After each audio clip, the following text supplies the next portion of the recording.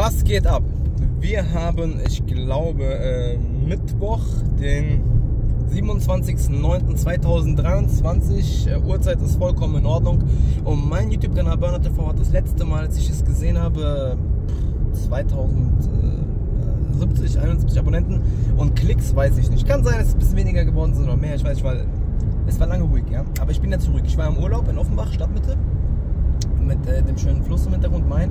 Und da war gerade Dippemess, habt ihr gesehen, mit dem Riesenrad.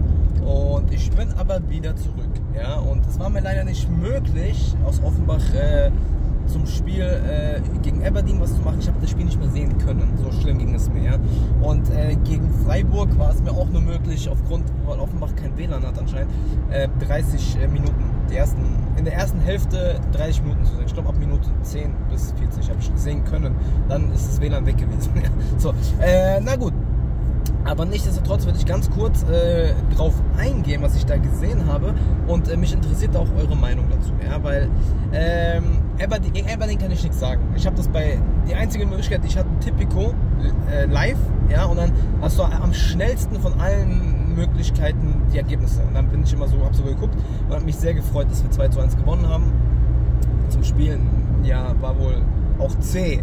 Ja, aber gewonnen ist gewonnen, das ist das, was zählt, fertig. Ja. Äh, gegen Freiburg bleibt zu sagen, Freiburg ist äh, der erste wirkliche äh, Gradmesser diese Saison, ja, weil alles andere bei Mannschaften, da musst du einfach punkten. Und nicht mal das hat Eintracht gekriegt, ja. Aber wir haben nicht, also wir haben gepunktet, das ist äh, falsch ausgedrückt, wir haben gepunktet, ja. Aber äh, wir sind ungeschlagen immer noch und so weiter. Aber Freiburg ist dann schon eine andere Kategorie, wo du gucken kannst, wo du stehst. Ja? Äh, Mainz, Frei, äh, Mainz, Bochum, Darmstadt, äh, was da alles war bisher. Ja? Hm. Ähm, aber Freiburg war die letzten Jahre auch mit uns, äh, hat auch einen steilen Aufstieg hingelegt nach der Eintracht und spielt auch international und hin und her und, und schon gut und da hast du mal gespielt und hast nicht verloren. Ja, und hast dich sogar gut verkauft. Denn das, was ich gesehen habe, hat mir gefallen. Ich habe definitiv eine Weiterentwicklung gesehen äh, mit einem Shaibi, mit, äh, mit ähm, ja, Götze war erstmal auf der Bank. Erstmal oder kam er dann? Ich weiß es gar nicht, aber Götze hat nicht angefangen. Wir haben eine komplett neue Offensive gehabt. Ähm, und was ich gesehen habe, hat mir sehr gut gefallen. Ich habe gute Ansätze gesehen. Ja? Ich habe ähm, gute, gute, gutes Passspiel gesehen, gute Lösungen gesehen, vieles. Ja? Hinten sind wir stabil wie seit 100 Jahren nicht mehr gefühlt. Also wirklich, Koch ist schon ein sehr, sehr guter Verteidiger und der ist definitiv, äh, darüber sollte man in der Nationalmannschaft darüber nachdenken, denn ähm, ey, der ist stabil bis jetzt. Äh, also wirklich tadellos und äh, ja, deutscher Verteidiger, der richtig gut abliefert, der muss äh, in den erweiterten Kreis kommen und da muss man gucken, ob man ihn mitnimmt oder nicht. Aber er hat ja noch die ganze Saison Zeit, äh, sich zu zeigen. Aber Pacho ist für mich Pacho ist für mich wirklich, das ist, das ist ein Move gewesen. Aus dem Nichts kommt der, dieser, dieser Typ nach Frankfurt und ähm, rasiert alles hintenrum.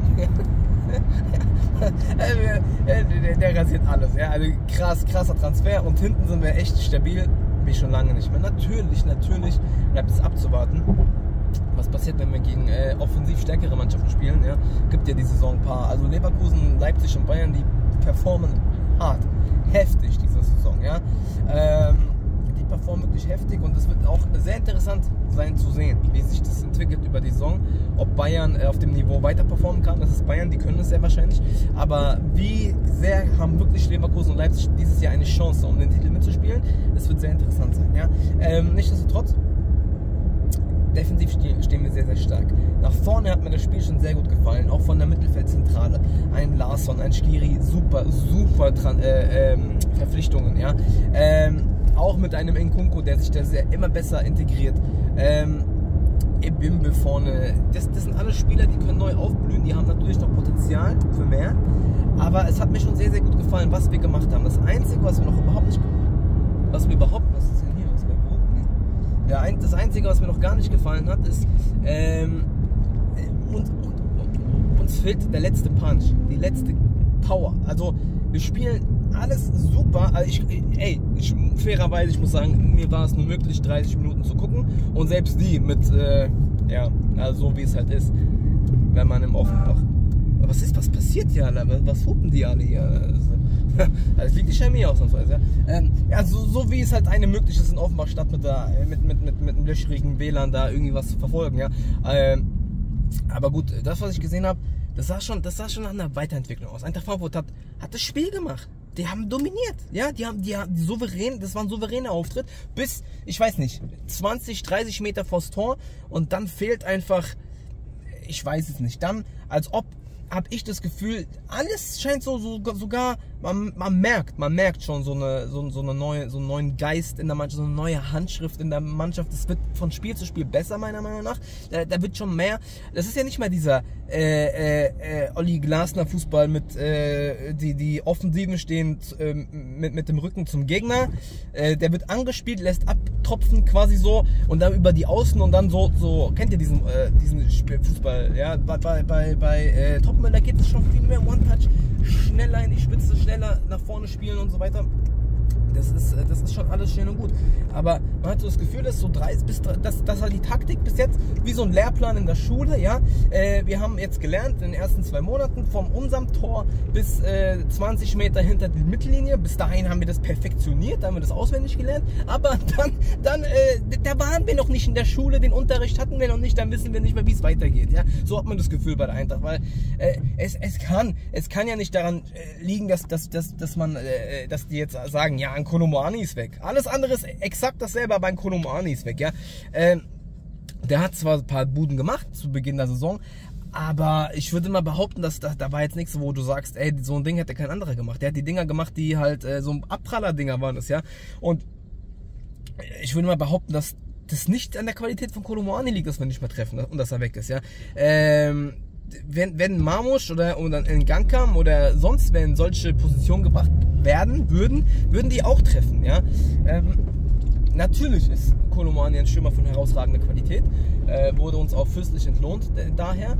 Ähm, übrigens, äh, Missland, Sven Missland hat wurde in Ajax äh, äh, entlassen. Ja, das ist das war so ein Traumtransfer. Niemals im Leben hätte ein anderer Mensch auf diesem Planeten uns äh, 8 bis 12 Millionen für Dian, ohne, ohne das negativ äh, Dian Ramay gegenüber zu meinen, niemals im Leben hätte uns ein anderer Mensch auf dem Planeten 8 bis 12 Millionen geschenkt für Dian Ramay.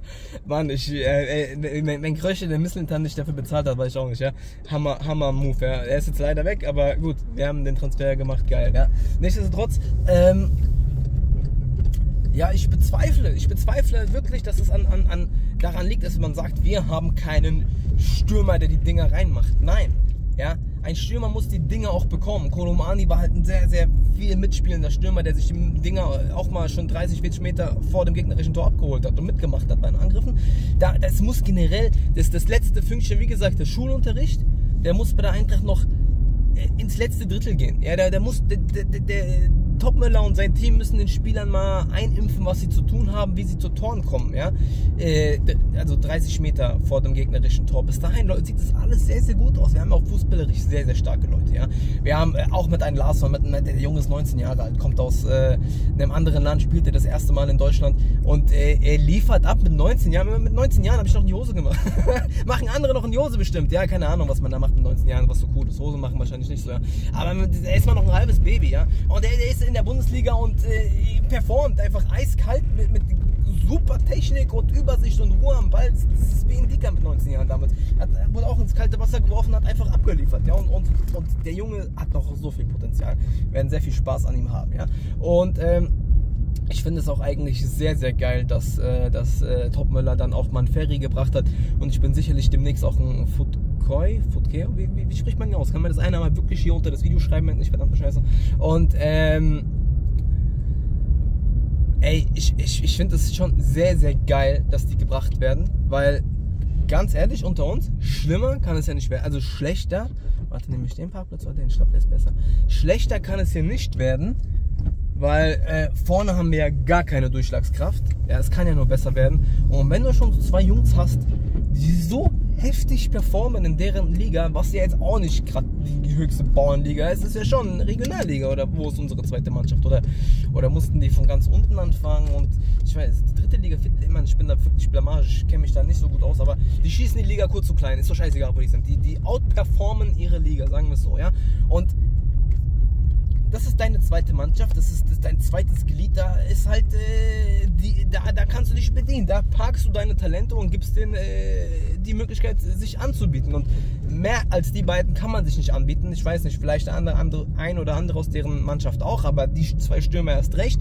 Und ähm, ey, wann? Wann? Weißt du, da brauchst du aber auch den Trainer, der die Eier hat, auf solche Spieler zu bauen und den haben wir. Und wir haben das jahrelang hier kritisiert und rumgeholt, dass keiner auf die Jugend setzt.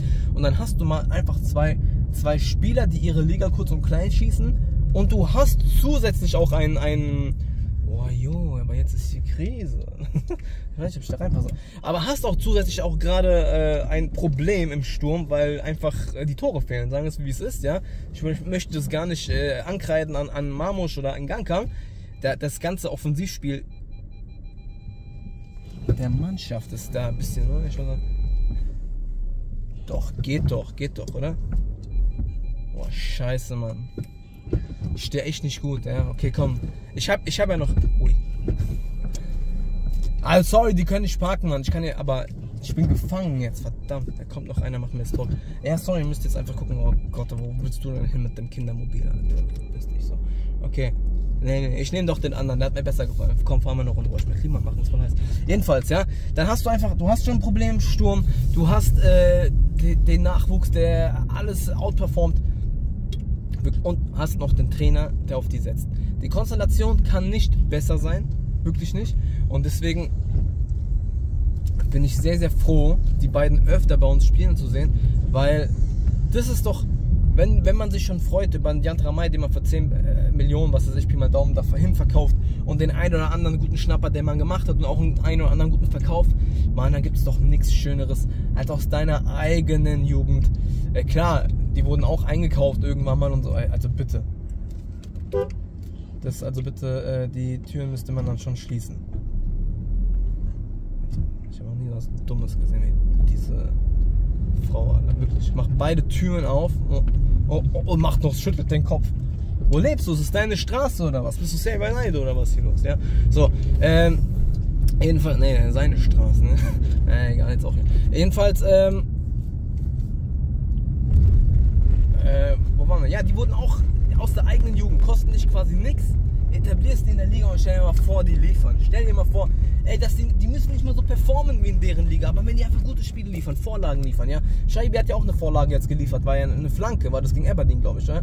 Und äh, lass die, lass die mal reinkommen. Natürlich, die sind total jung, die müssen lernen, Potenzial haben sie, aber hey, förder die, gib denen die Chance und du kannst die Dinger, die Dinger, sorry, die Menschen sind die Menschen, kannst die zwei Spieler entweder helfen sie dir ungemein weiter oder sie werden dir weiterhelfen und, und, und, und oder und wirst die äh, sehr, sehr lukrativ weiterverkaufen und kannst da weiter in deine Jugend investieren. Und das, man, das ist einfach ein geiler Move. Ich finde es sehr, sehr geil, was bei der Eintracht gerade passiert. Äh, das fußballerische übergreifend, also die erste Mannschaft übergreifend, der hinter den Kulissen mit der Jugend, mit dem ganzen Verein, wie die Transferpolitik ist, die ganze Wirtschaftspolitik, von Eintracht Frankfurt. Wirtschaftspolitik in diesem Land ist fürchterlich. aber aber äh, mit einem Finanz, äh, er der nicht mal weiß, dass eine Insolvenz ist. Ja, das ist ganz stark, ganz stark hier. Aber das ist ein anderes Thema. Aber ähm, was bei Eintracht abgeht, ist sehr, sehr stark. Die Ergebnisse sind noch nicht so krass, ja, so, so hervorragend, aber man darf nicht vergessen, wir sind ungeschlagen. Äh, gegen die ersten, gegen ersten Gegner, der ein bisschen stärker ist, haben wir äh, auch ungeschlagen geblieben und haben besser gespielt. Ja, das ist das, was ich gesehen habe, aber auch was ich gelesen habe. Ja, äh, uns wurden Elfer nicht gegeben, habe ich gehört. Ich kann nichts sagen, ich habe die Situation nicht gesehen. Elfer wurde uns nicht gegeben. In der Nachspielzeit haben die ein Abseitstor gemacht, was also da ich habe mit so mit, ich habe mit dem Bernd geschrieben, hallo Bernd, hi, ja. Und er hat mir gesagt, äh, äh, also wir haben uns sehr aufgeregt, weil es erstmal ein Tor war und dann äh, haben wir so so über WhatsApp hat er mir berichtet, was passiert und so weiter. Wir waren sehr glücklich, dass es dann doch kein Tor war. Und ähm, ja, aber ungeschlagen, ja. Mit Glasner hat das auch zehn Spieltage gedauert, bis irgendwie anfing, was zu funktionieren bei der Eintracht. Wir sind immer noch ungeschlagen, wir sind europäisch dabei, äh, Sieg europäisch. Äh, ja, äh, es könnte besser sein, aber es könnte auch bei weitem viel schlimmer sein und schlechter, ja.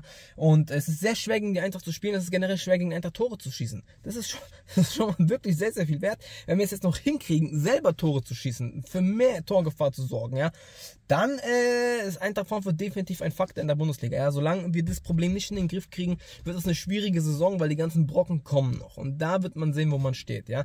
Aber nichtsdestotrotz, wir haben sehr, sehr geile äh, Jugendspieler, die wir integrieren in die erste Mannschaft. Das wird nice, wirklich, äh, um den anderen auch eine Pause zu können. Wir haben mit Alaria einen Spieler, den man nicht abschreiben sollte. Ich weiß, ich weiß gar nicht, warum der hier so krass gehatet wird von so vielen Spielern, man, äh, Spielern, von, von, von so vielen Leuten.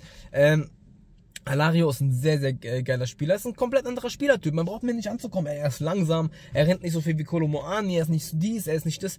Es ist ein komplett anderer Spielertyp. Man, es gibt eine Million Stürmertypen auf der Welt. Und, und, und er ist halt ein Strafraumspieler, Mann. Stürmer, ja. Natürlich, der hat zwei Jahre nicht gespielt, drei Jahre nicht gespielt, keine Ahnung, mit Verletzungen zu kämpfen gehabt, hin und her. Man, lass den fit werden. Führ ihn langsam ein an das Team, äh, auf, auf dem Spielfeld. Gib ihm Spielminuten, gib ihm Spielpraxis, gib ihm Selbstvertrauen, red ihm gut zu, sag, du baust auf ihn. Hey, Mann, dann wirst du sehen, du wirst ihn da vorne reinstellen. Alleine Kopfbälle Bälle macht er rein. Äh, der, der, ist, der muss gut bedient werden, dann macht er die Dinge rein. Da bin ich sicher, ja. Und äh, ich glaube, er wird uns auch sehr gut weiterhelfen diese Saison. Und dann würde ich nicht abschreiben, ich weiß auch gar nicht, warum er so einen schlechten Ruf hat hier bei der Eintracht. Ja, äh, natürlich hätten wir jetzt einen Konomani noch, noch irgendwie noch krass eingekauft und so weiter, wäre es vielleicht schwer geworden, ja. Aber einfach nur, weil die so krass performt haben. Das ist schwierig für jeden Spieler der Welt gewesen, wahrscheinlich. Wenn so ein Konomani so ein Performer ist und ein äh, Topscorer liefert, dann ist es schwierig, äh, einen neuen oder einen anderen da äh, neben ihm zu platzieren. Ja, aber er ist nun mal weg. Alle anderen fangen bei Null an, Alario genauso. Und ähm, äh, vielleicht sogar mit dem Vorteil, dass er ein Jahr länger hier ist und so weiter, das Ganze schon kennt. Lasst ihn mal machen, lasst ihn fit werden, lasst ihn mal Spielminuten, Spielzeit geben, nicht direkt äh, haten, wenn irgendwas nicht funktioniert und so weiter. Und dann glaube ich, kann und wird er uns noch sehr gut weiterhelfen mit der Verstärkung der zwei Jungs dahinter, äh, der Jugendspielern, äh, Spielern, wenn wir die äh, weiterhin integrieren in das Team, kann kann es was werden und ich bin guter Dinge, es wird was werden, weil ich sehe, ich sehe die Entwicklung. In 30 Minuten am gelangt, den Offenbacher Main äh, zu, zu sehen, äh, was, was da passiert ist, ja, oder, oder was passiert, ja. Und äh, wenn die Entwicklung weiterhin so geht und wenn im Schulunterricht bei der Eintracht mal das letzte Drittel besprochen wird und die da äh, das lernen, wie sie sich dazu verhalten haben, äh, um Tore zu erzielen, dann kann es was sehr Schönes werden, die Saison. Ich muss leider los, es ist nämlich schon sehr, sehr, sehr spät geworden. In dem Sinne, sagt mir gerne eure Meinung dazu. Wie habt ihr die Spiele empfunden? Was habt ihr zum Aberdeen-Spiel zu sagen, was ich verpasst habe, nicht gesehen habe? Was ging bei Freiburg, was ich verpasst habe, nicht gesehen habe? Wie seht ihr das? Seht ihr auch die Entwicklung so, dass äh, Eintracht Frankfurt auf dem richtigen Weg ist? Momentan ja, natürlich tut's weh, wenn man sieht, die kommen nicht weiter davon. Aber die haben sich gelernt im Schule, in der Schule, ja, der Schuhbag, ja. Was, was wollt ihr, ja? Wenn die Lehrer euch das nicht beibringen, dann, ja klar, könnt ihr auch verlangen, dass die Spieler sich das, äh, das selber beibringen, aber so weit sind wir noch nicht, ja. So, und, äh, sind wir auf einem guten Weg? Ja oder nein? Das ist, das, das, ist eigentlich die Kernfrage. Das ist die Quintessenz dieser heutigen Folge. Das möchte ich wissen. Sind wir auf einem guten Weg oder nicht? Ja? Schreibt es mir hier rein unter das Video. Äh, und dann äh, sehen wir uns jetzt. Ich bin wieder zurück. Jetzt wird es wieder regelmäßig abgehen. Und äh, ich weiß ehrlich gesagt gar nicht, wer unser nächster Gegner ist. Sorry, ich bin noch komplett äh, Jetlag-mäßig so. Aber äh, aus Offenbach. Ist ein weiter Weg hier. Ja. So. Äh, in dem Sinne. Alles wird gut, schreibt mir eure Meinung und dann äh, werden wir uns hier weiterhin austauschen. Also ich muss los, ja. Tschüss jetzt. Ne?